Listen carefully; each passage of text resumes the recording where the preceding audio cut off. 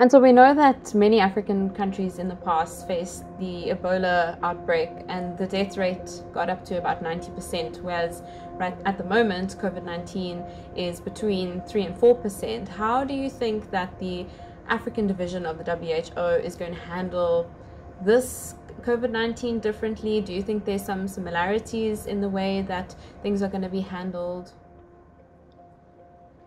Uh, with Ebola, there, was a, lot of lesson uh, learned. Um, and um, it's actually one of the guidelines that we provide to countries that they, we should uh, think about the worst case scenario. And so, what could be the worst case scenario is uh, a wide community transmission where you can have hundreds or maybe thousands uh, of cases per day. So, if this occurred um, from what we know uh, in China and in Europe, at least 5% of them may require intensive care.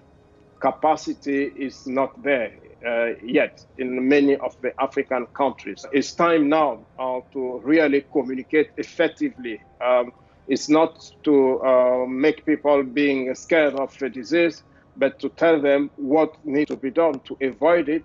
Do you have any other tips to prevent further spread of the virus, especially for our continent?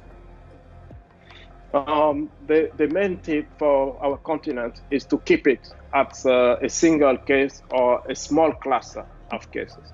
And to do so is uh, you need to do everything that is required around a single case, like uh, having a comprehensive list of contacts, following them up so that uh, any new uh, case can be detected and isolated. Doing so will prevent us moving from sporadic case to a widely spread case, uh, cases in uh, within the community, and it's critical for Africa based on our capacity because the the death toll can easily increase and uh, the lethality can be higher than what we are experiencing now. So it's definitely worthwhile to invest more uh, in uh, surveillance at the entry point, following people that are coming and ensuring that we also preposition uh, to uh, increase our treatment capacity if it's needed.